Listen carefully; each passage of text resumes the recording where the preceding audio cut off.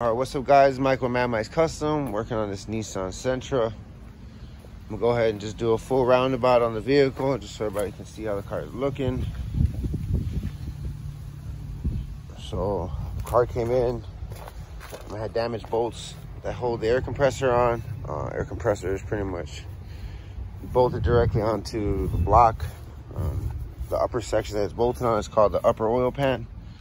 Uh, the oil pan is this section right here. Everything from here down, this whole strip.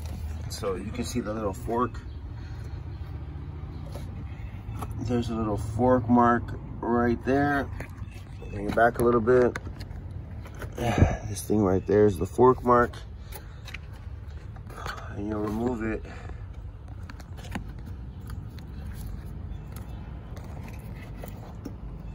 So right now I got all the bolts out the sides, all the bolts that ran down alongside the pan. Uh,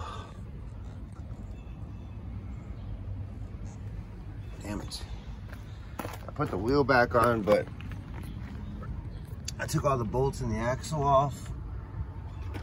Go ahead and try to get most of that.